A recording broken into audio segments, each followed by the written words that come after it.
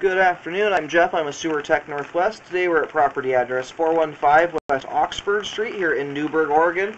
Located at the front of the home, just in front of the porch area, we have a 3-inch ABS cleanout in the brick. This will be the point of access. I'm going to insert the camera and check the overall condition and serviceability of the sanitary sewer line. We currently have water running, and I will zero out the camera counter here and refer to this spot as the point of access. Here we go.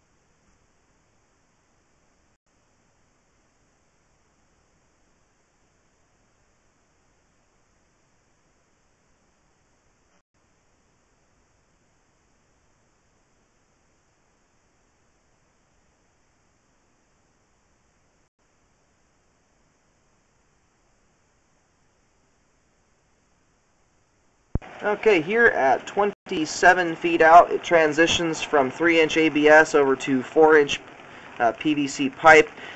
We'll check out this spot here right prior to the transition at the end, uh, as there's some standing water there, so I make sure nothing's going on underneath it.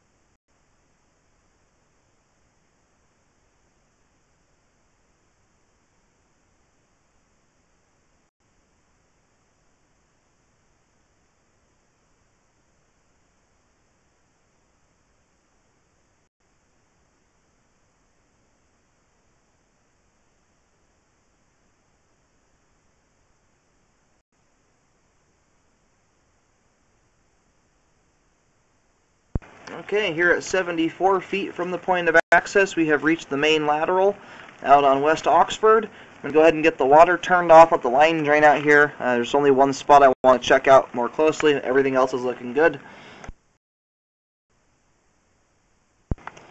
Alright, I'm going to go ahead and start reeling back the camera. Most of the water is now drained out of the line.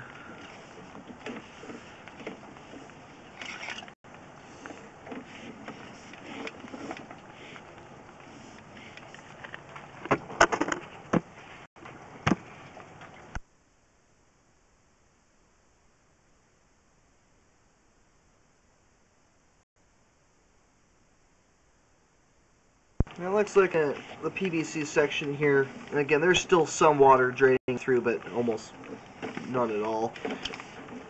But there is a little bit of grade lost here in the line. This is about as bad as it gets here in the PVC pipe, and it's only about an eighth of an inch or less of standing water there, which is very minimal. Nothing that I'm concerned about.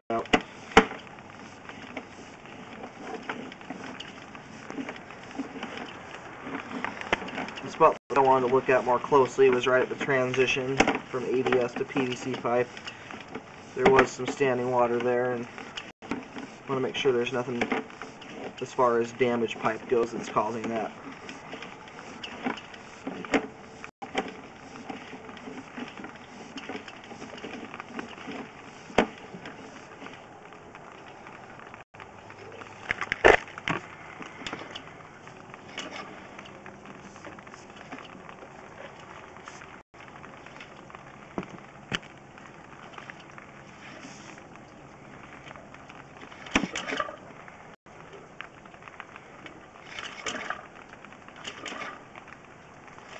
It just looks like the line has settled here a little bit, which has caused some standing water.